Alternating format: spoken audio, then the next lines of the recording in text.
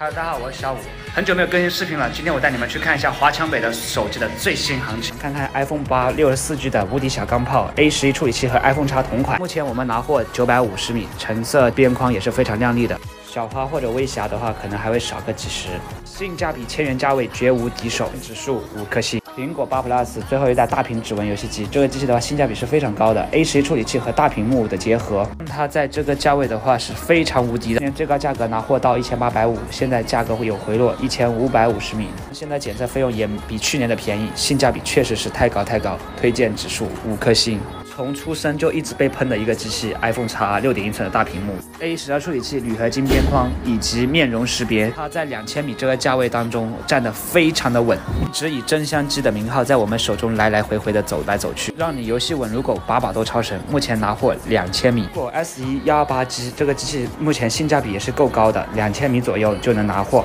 也受很多粉丝的喜爱，说是买它的经典与情怀。不过它 A 十三的处理器加上它的小屏，握持感是非常不错的。目前。拿货一千五百五十米，iPhone X S Max 六十四 G，这可以说是全面屏最大的一款，也是当年的旗舰机器。这款机器六点五寸的大屏，加上 A 十二的处理器，不管是在运行速度还是在屏幕尺寸，都是非常不错的一款机器。发行价破万，现在掉至两千八百米，预算充足的选它准没错。我们再来看看新款机器，我们家里面到了很多新款，也是今天拿的，像这种十二 PM 一百二十八 G 的，目前拿货价六千五百米，去年要七千二。所以十二 Pro Max 这次掉价还是比较多的，十二 Pro 价格更是便宜，一百二十八 G 的目前价格掉到六千米，十六 G 的大概也就六千八百米。有喜欢新款的，现在入手是最佳时机，毕竟完美解锁。